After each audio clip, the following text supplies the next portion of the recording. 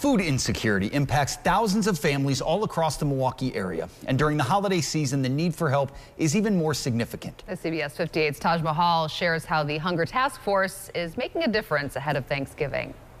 The need for food assistance continues to grow across our community, and hometown food pantry partners are preparing to make an impact throughout the year, the support that we get from Hunger Task Force goes a long way. Rooted in Rising Washington Park is just one of 70 Hunger Task Force partners picking up turkeys to distribute to their networks. We know um, always the holidays are a time of celebrations, but also added stress. There's, there's need really throughout the year for the kind of assistance that we get from Hunger Task Force. Friday, partners arrived to Hunger Task Force headquarters to pick up more than 1,400 turkeys and produce to take back to their organizations. The donations were made possible by Zurn Elkay Water Solutions.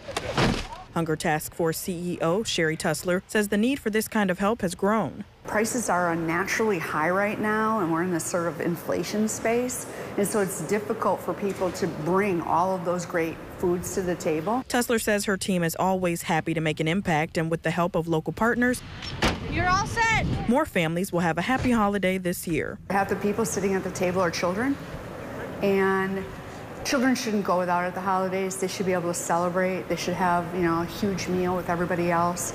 And that's only made possible through people's generosity. And if you'd like to help, Hunger Task Force is still accepting turkey donations. You can bring a frozen turkey here to the donation dock on weekdays from 8:30 a.m. to 5 p.m. And here at CBS 58 News, we are also preparing for our annual food drive in partnership with Hunger Task Force. That's happening next Friday, November 7th. 17th. For now, reporting in Milwaukee, I'm Taj Mahal, CBS 58 News.